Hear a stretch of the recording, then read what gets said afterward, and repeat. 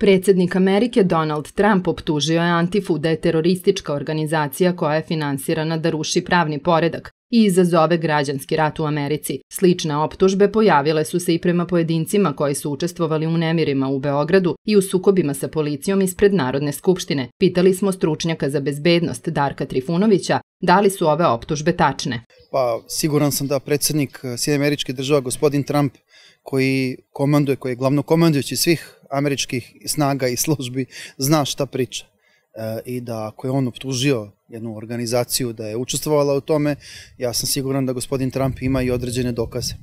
Kao što postoje dokazi da, su, da je određena strana služba organizovala i pokušaj državnog udara u Srbiji i moramo da podsjetimo i vas i vaše gledalce da je tačno pre godinu dana Republika Srbija i njeni organi, pre svega Vojno-bezbednostna agencija u saradnji sa drugim bezbednostnim agencijama Republike Srbije, proterala iz Srbije ruskog potpukovnika zbog krivičnog dela špionaže.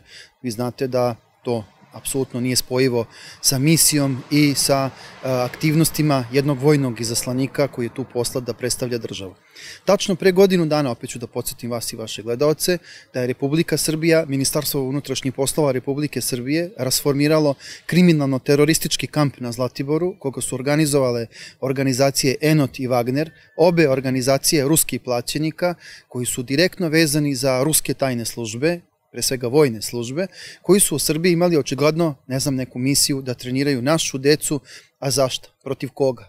Naša deca treba da idu u naše škole, ko želi da stekne vojnu obuku i vojne veštine, postoji vojna akademija, policijsku obuku, policijska akademija, fakultet bezbednosti, institut bezbednosti i mnoge druge institucije i naravno da bi moja reakcija bila da je bilo koja država na svetu, ne govorimo o Rusiji kao velikoj državi i velikoj supersili, ali da je to radila i Kina i Sjedne američke države i bilo koja druga država da je to uradila, što je u ovom slučaju radila Rusija na teritoriji Srbije, moj odgovor i moja reakcija bili bi vam isti.